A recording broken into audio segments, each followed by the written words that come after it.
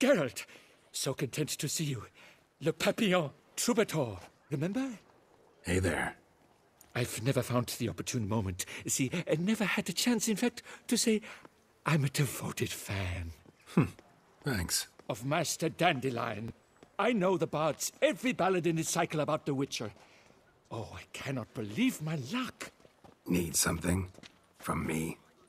Indeed, a matter most magnificent. My coiffeur, Jean-Louis Ludovic, has gone missing. Now, you shall rescue him while I compose an epic ballad about it. Listen, fair folk, to a glorious tale of a missing friseur and a widowhood prevail. What happened exactly? Claim the hairdresser's missing, but are you sure? Yes, yes. I've no doubt something's transpired. Something terrible, absurd.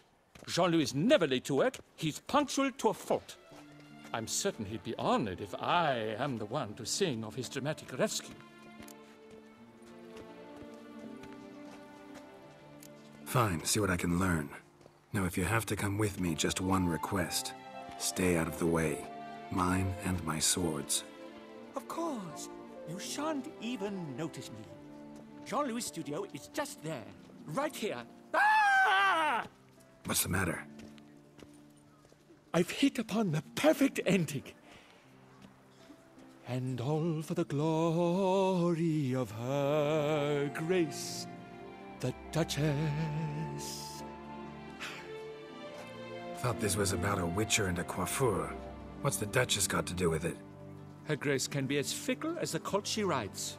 Today, all remember my fine couplets at the tourney.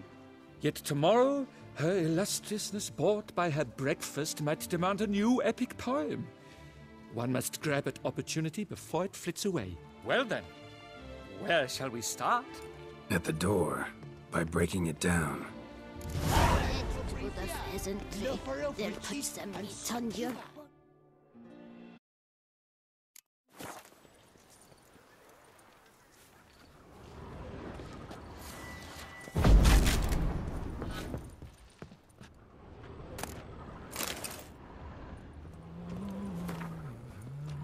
Grace, the Duchess. Let's Empty pomade jar. Strong floral fragrance. uh, very strong. Hmm. Scissors are completely dull. No way he could use these to cut hair. You lucky scoundrel. This jar's empty too.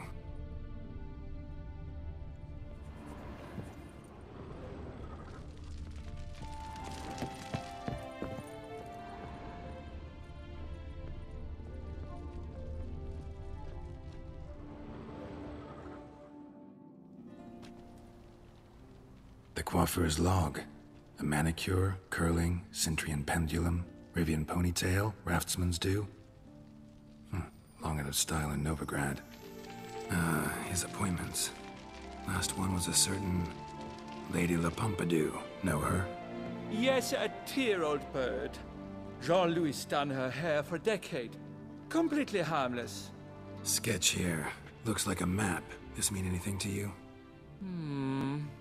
I may understand where it points, but if so, there's not there. Just fields and meadows. Think I understand. As do I. Perhaps. Around he looked, yet all was quite proper. I see razors, pomades, but no blasted hair chopper. Mind being quiet for a minute? Think I might know what happened to the hairdresser. No evidence of a break-in, no signs of a struggle. To my mind, he just went out to find ingredients for his pomade. Looks like he ran out. Of pomade. Yes, indeed. He'd have gone into the meadows beyond the city to gather flower petals for it. Trolls must have devoured him. Or a cyclops. Splendid either way. Think you could find the place using his map? Naturally. Lead the way then.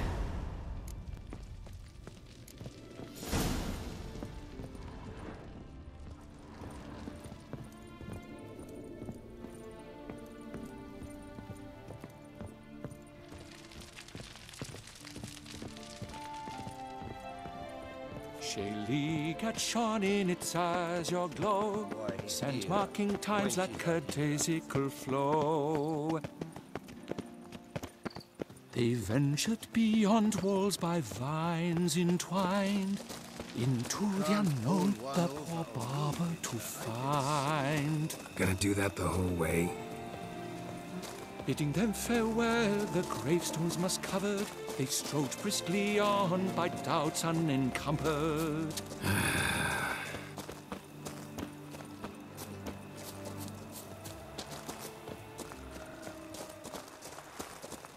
Behold the location from the map. Damn it, get back! Ah!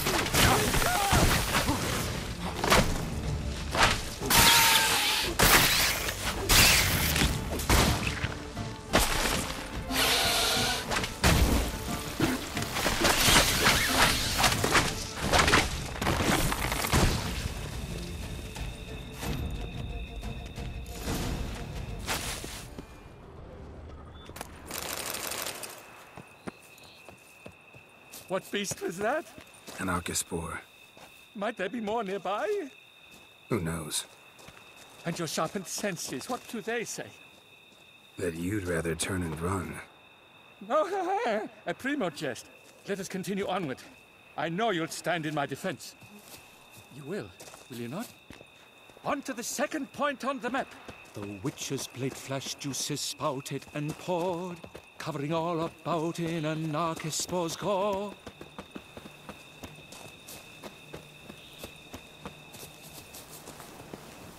There! Jean-Louis Pasquet! I'd Basket recognize it flower anywhere. petals. He was Same here. smell as We can be certain now. A clue! I think I found one. No, no, seems not. Grass is trampled. Multiple sets of footprints. A little blood. Seems you were right. He ran into trouble. Phew, what luck! I just hope it's not Cyclopes. Hard pressed to find a rhyme for that. So, on his trail yet, are you?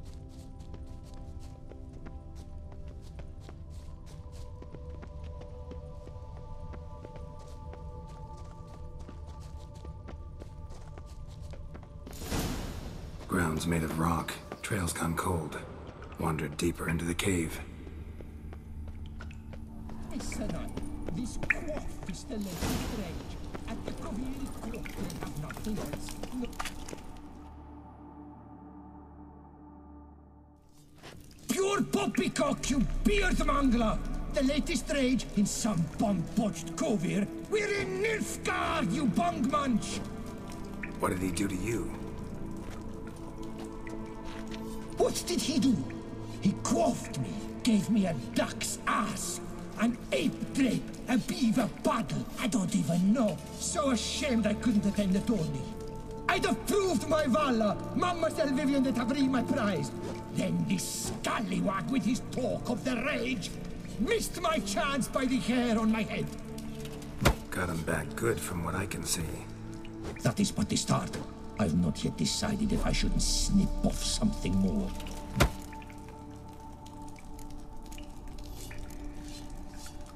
Doesn't seem terribly chivalrous. What about honor? Your oath on the peacock? All that. I do vow on the noble bird I shall gut you if you do not skedaddle. On guard! Stand and fight! I challenge thee, and you boys dare not intervene. By golly, by gum, this will be chivalrous. Listen, children, a story you shall hear of a witcher who walloped a rogue knight's steady hair. I shall slaughter that shit stylist out of my way.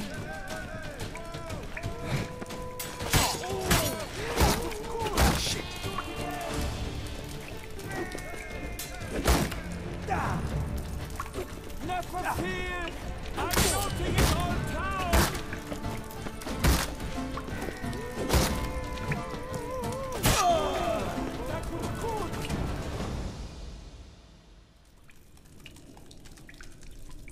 grown rather late. I believe we'll be on our way. Le Papillon, le Beholder's wounds. You saved me at the last second. You're welcome.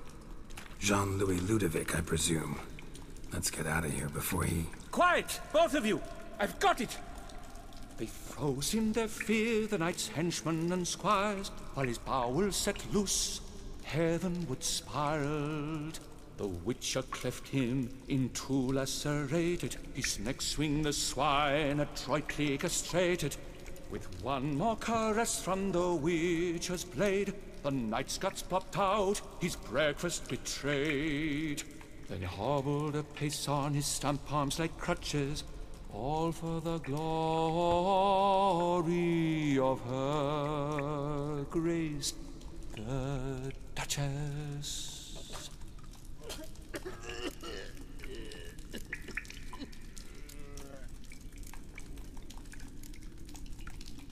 Bravo. Almost believed you were there. Doesn't it seem so?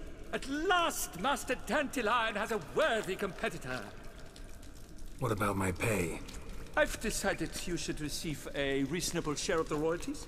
Payable, let us say, semi-annually? Meaning you're broke just now. I owe you a thousand thanks, Master Witcher. I, I'll gladly pay your reward. Not to mention trimming you when you see the need that come by. Hmm, thanks. Take care now.